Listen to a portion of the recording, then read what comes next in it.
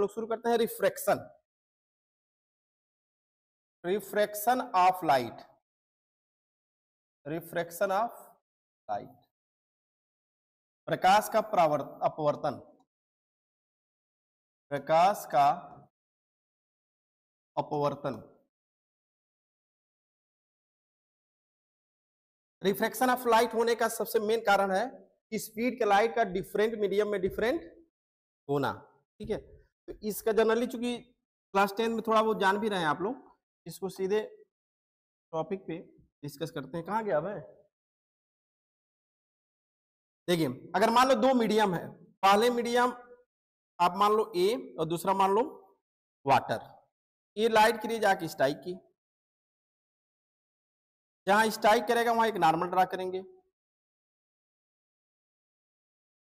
ये rare medium है denser medium है, इसलिए जब दूसरे मीडियम आएगा तो नॉर्मल की तरफ़ बेंड हो गया। ए आपका हो गया आई ये हो गया आर ऐसे ही अगर दूसरा मीडियम ले लो ए ले लो वाटर और इसको ले लिया जाए एयर जब लाइट लिए जाके स्ट्राइक करेंगे यहाँ पे ए नॉर्मल हो गया, अब ये नॉर्मल से दूर हो जाएगा।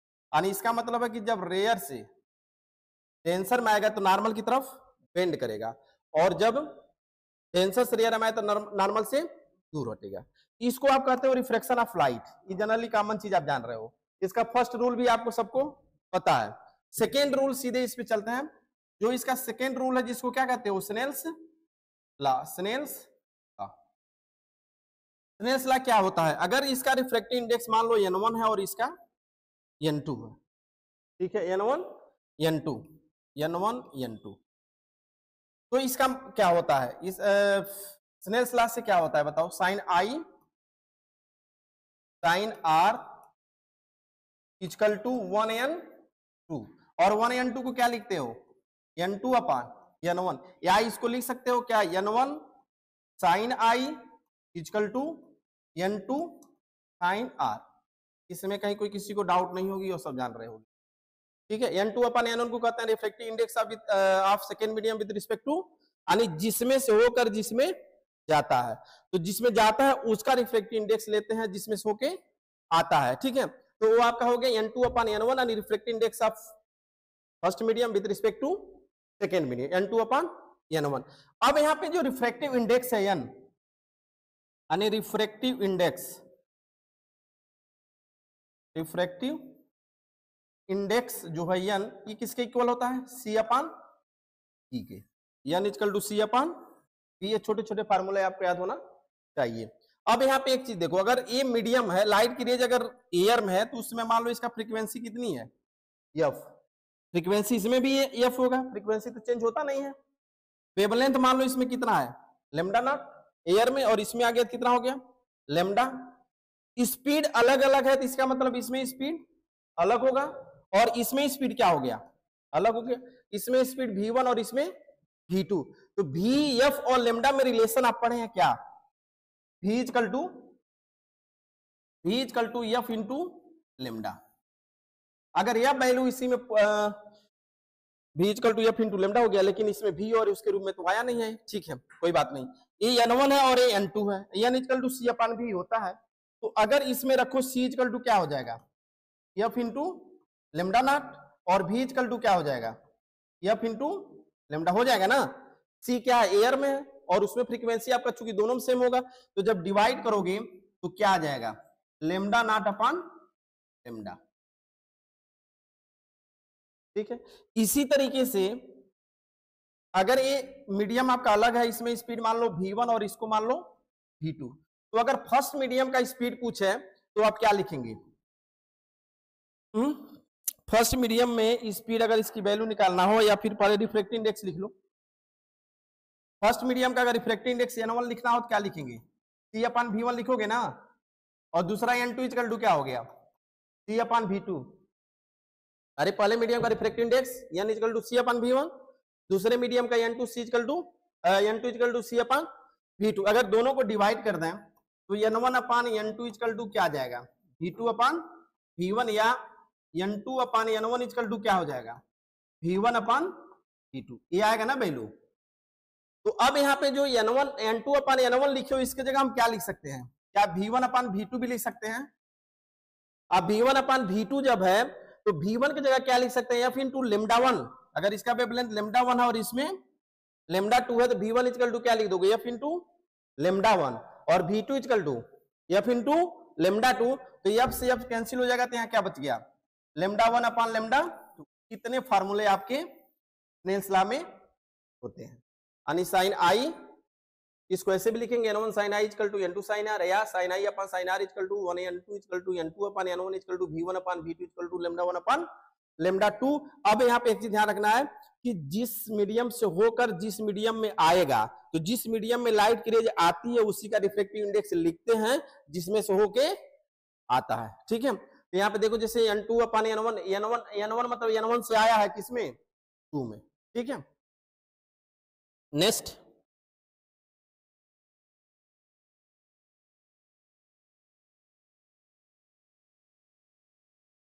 अगर ये लाइट की रेज आकर 45 डिग्री पे स्ट्राइक किया, कितने पे? 45 डिग्री यह एयर है, मान लो। यह मीडियम नहीं पता है कौन सी मीडियम है, इसका रिफ्लेक्ट इंडेक्स मान लो क्या? Root two. चाहे कुछ भी मान लो, रूट टू, रूट थ्री, जो भी दिया रहेगा, फोर बाई थ्री कुछ भी माना जा सकता है। ठीक है? तो इसमें ये पूछे, क्वेश्चन पूछ रहा है कि इस लाइट की रेज का डेविएशन एंगल क्या होगा? चूँकि डेविएशन एंगल पढ़ चुके हो इसके पहले, इसलिए इस डायरेक्ट क्वेश्चन पूछ रहा हूँ। Find the value of deviation ये क्वेश्चन है आपका। समझ पाए? लाइट की रेज, एयर से आके किसी सरफेस पे स्ट्राइक किया। और ऐसे मीडियम में एंट्री किया जिसका रिफ्रेक्टिव इंडेक्स कितना है? रूट टू तो लाइट की के रेज में जो रिफ्रैक्टिव रेज है वो कितना बेंड हुआ?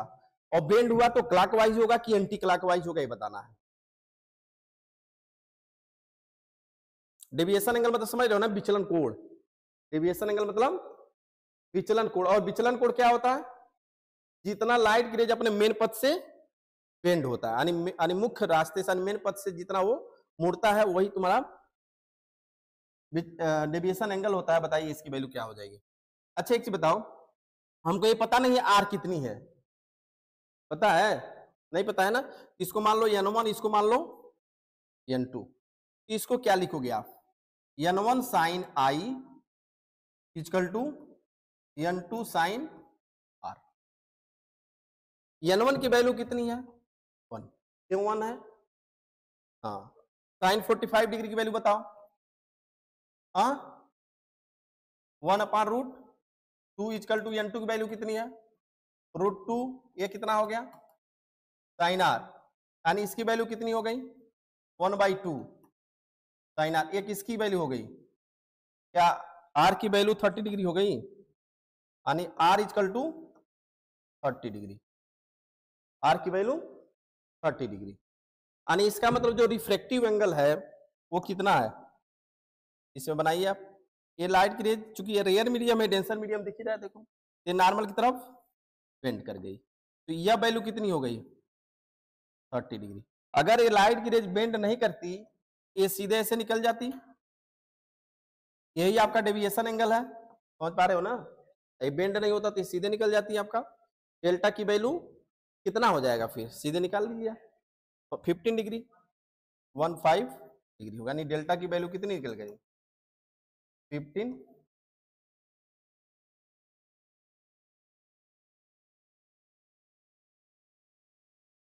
नहीं होगा?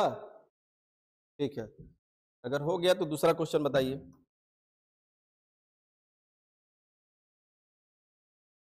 हम्म क्या कर रहे हो? सेफ़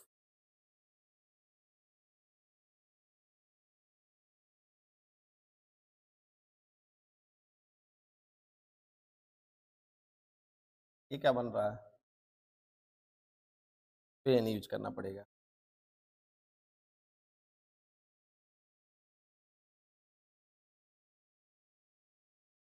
ठीक है।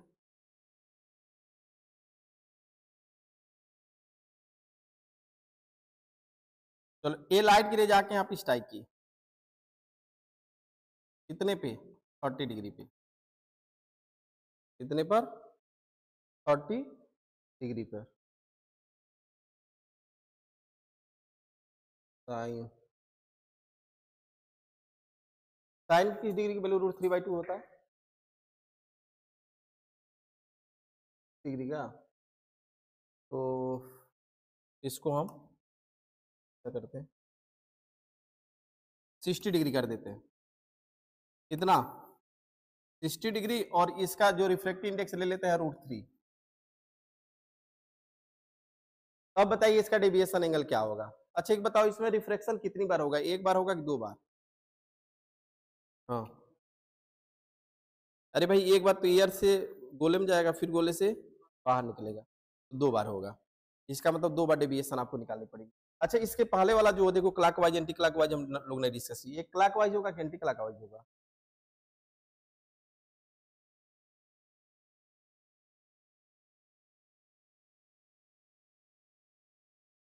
समझे ना? तो डेल्टा की वैल्यू जो होगी 15 डिग्री क्लॉकवाइज होगा। क्योंकि अभी वहाँ पे माइनस प्लस करना पड़ेगा ना।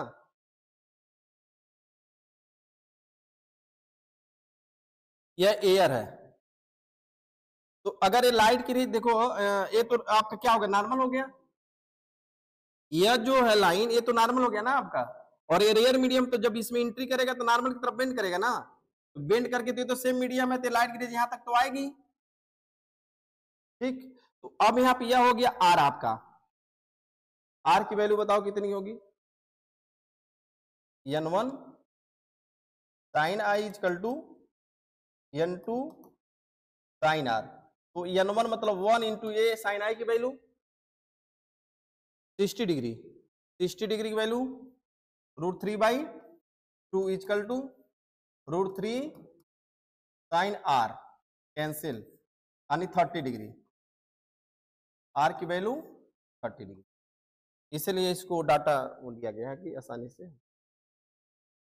यानी आर की वैल्यू कितनी आ गई? थर्टी डिग्री तो अगर ये यहाँ बेंड नहीं होता तो लाइट की रेज ऐसे सीधे निकल जाती। यानी ये डेल्टा वन हो गया। Delta one equal to thirty degree clockwise है कि एंटी क्लाक वाइज है?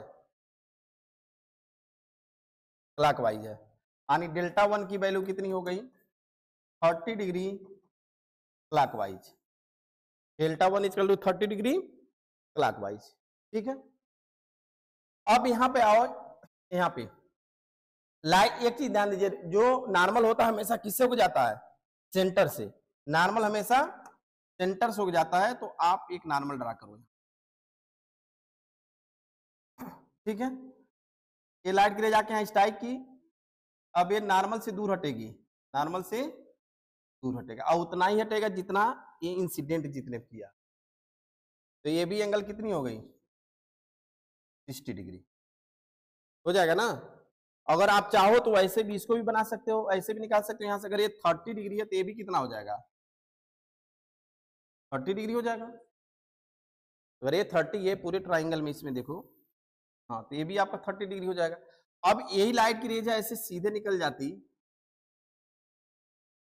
तो ये कितना बच गया। थर्टी तो बचा। थर्टी डिग्री, यानी इसका मतलब ये है कि डेल्टा टू की भी वैल्यू कितनी आई?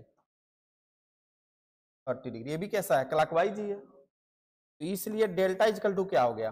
Delta one plus delta two और डेल्टा की वैल्यू कितनी आ गई? Sixty degree clockwise. ठीक है? देख लो के बाद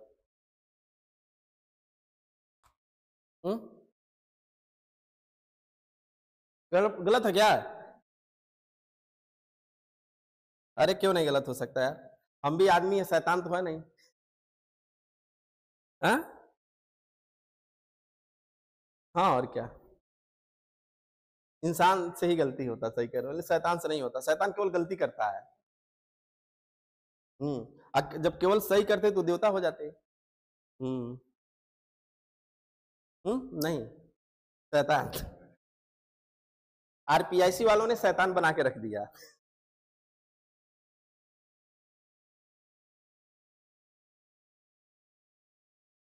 ठीक है जी। ये भी हो गया। अब इसके बाद देखिए, एपारेंट डेप्थ।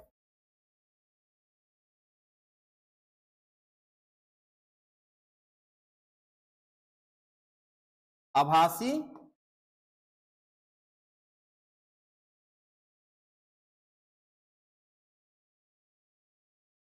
ठीक है अपेरेंट स्पेलिंग सही है ना जी?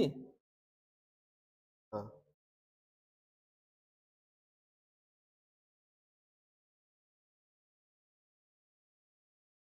ये वाटर है।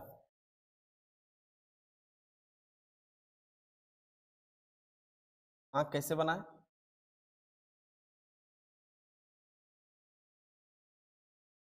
कितना गंदा बन गया? आँख। हाँ? शेप में होगा क्या?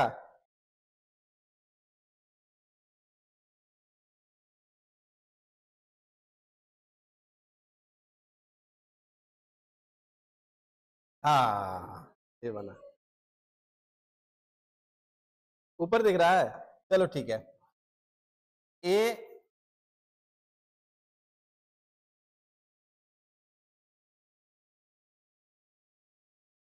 चलो यहाँ पे कोई ऑब्जेक्ट है। जिसका रियल डेप्थ मान लो कितना? टी ठीक है? पंख जम रहा है राजकुमार का। हाँ? हाँ। देखो ये आपका ऑब्जेक्ट है, यहाँ से बहुत सारे लाइट की रेज निकलेगी। अगर एक लाइट की रेज सीधे ऐसे जाए तो जाने के बाद सीधे रिफ्लेक्ट हो जाएगी। इसमें आई और आर की वैल्यू क्या होगी? ज़ीरो होगा ना? क्योंकि जो लाइट की रेज सीधे गई, फिर रिफ्लेक्ट होके बाहर आ गई। यहाँ से अगर दूसरी लाइट की रेज आप ऐसे ले जाओ। बहुत सारे लाइट की रेज निकलेगी। एक लाइट की रेज लेते हैं, यहाँ से गई ऐसे। अब यहाँ पे मीडियम पलक बन रहा है, यहाँ एक नॉर्मल ड्रा करो। यह एंगल कितना हो गया?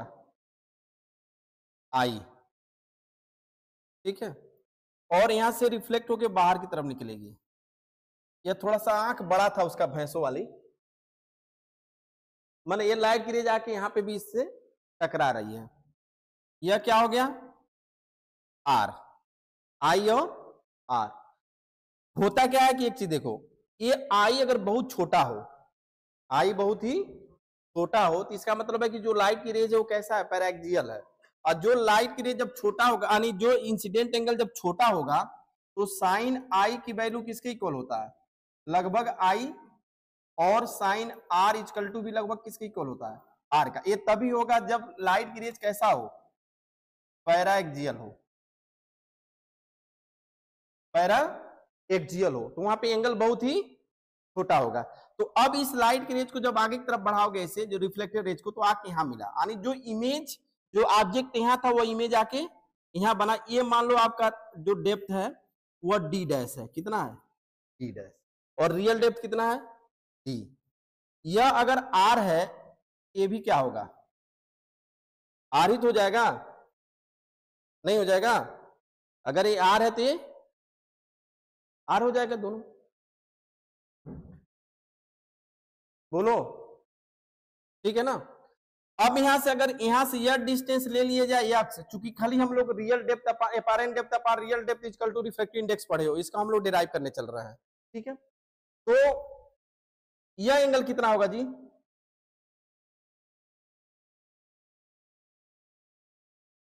हम्म?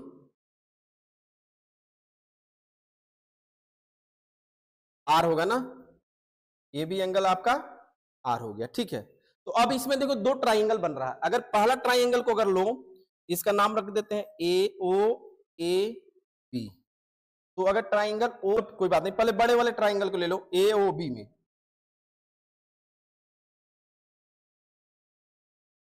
तो सबसे पहले ये एंगल तो बता दो, ये एंगल क्या होगा? ए वाला। इस एंगल की वैल्यू कितनी हो जाएगी?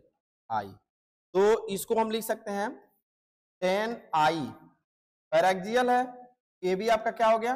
आई और इसी को क्या लिख सकते हो? साइन आई और टेन थीटा इजकल टू क्या होता है? परपेंडिकुलर अपान बेस तो क्या हो गया? एक्स अपान। टी ये मान लो फ़र्स्ट हो गया। ऐसे ही दूसरे वाले ट्राइंगल को अगर आप देखो तो दूसरा वाला ट्राइंगल क्या हो गया? ए पी बी में, ये भी आपका हो गया टेन आर लगभग r approximately sine i sine r equal to क्या हो जाएगा? X upon d dash. ठीक है? जबकि स्नेल्स लॉ से आप क्या पढ़े हो?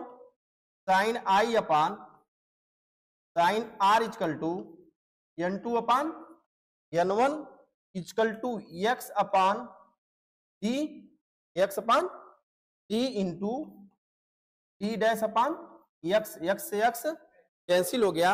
या इसी को क्या लिख सकते हो? N two upon, n one is equal to t dash upon t n two upon n one क्या है? रिफ्रेक्टिव इंडेक्स है मीडियम का। एन टू मतलब जिसमें आया है, उसका रिफ्रेक्टिव इंडेक्स है। यानी एन इजकल टू इसको लिख सकते हैं क्या? वन एन टू भी लिखो, या इसी को क्या लिख सकते हैं? केवल एन लिख सकते हो। केवल एन लिख सकते हैं, और इसकी वैल्यू क्या होगी? डी डैश कौन सा है? ये पैरेंट डेप्थ है कि नहीं? अरे देखो यहाँ पे डी डैश कौन सा डेप्थ है? ये apparent depth depth upon real depth, ये जो फार्मूला होता है, ये हम लोग इसको क्या कर दिए? प्रूव कर दिए। क्या कर दिया गया? प्रूव कर दिया गया डिराइव कर दिया गया। इसके पहले क्लास वगैरह में केवल डायरेक्ट फार्मूला लिखे थे, हम ही लिखाए थे।